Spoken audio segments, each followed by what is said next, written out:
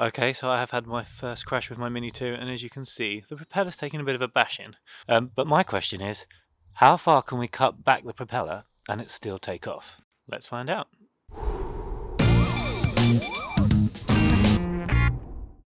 Okay, so I've moved the Mini 2 into my professional testing area, which is my daughter's trampoline. Now we're going to see if it can take off.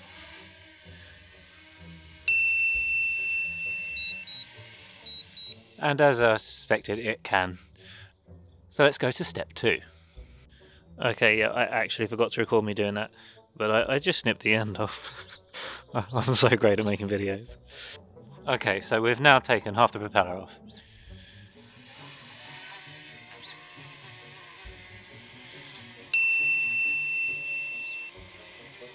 We've got a little tilt in there, but actually, it's not doing too bad. That's quite surprising. That's got half a propeller missing. Okay, let's uh, let's drop this down. Okay, uh, so now I'm going to cut it down to a quarter of a propeller.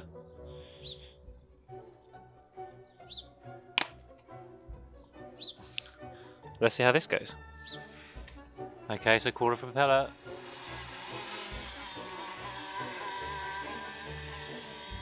It's actually taken off. It's hard to control and that does not sound good. Let's, uh, let's bring that down.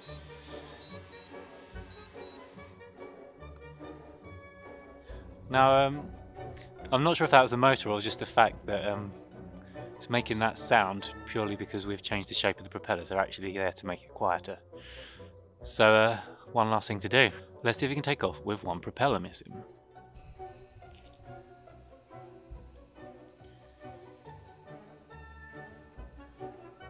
Okay, so here we go. There's a propeller entirely missing.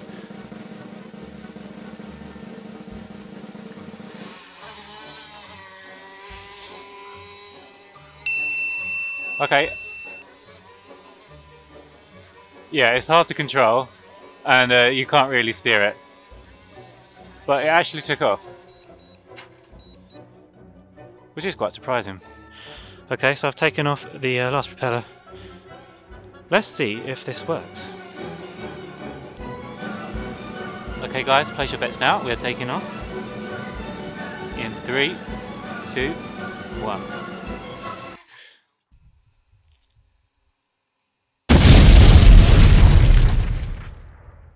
Whoops. The home point has been updated. Please check it on the map.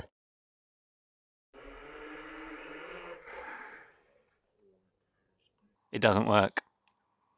So what have we learnt? The Mini 2 will take off with a one propeller missing, but it will not take off with a pair of propellers missing. It will just flip over and die. Uh, having said that, I'm going to replace the propellers now, and I'm sure all will be fine with it. I wouldn't recommend doing this at home. It's not going to be good for the motors. I'm just going to do this once and uh, never do it again. I just wondered uh, if it was possible, and now we know. I think it's an incredibly designed, robust little drone.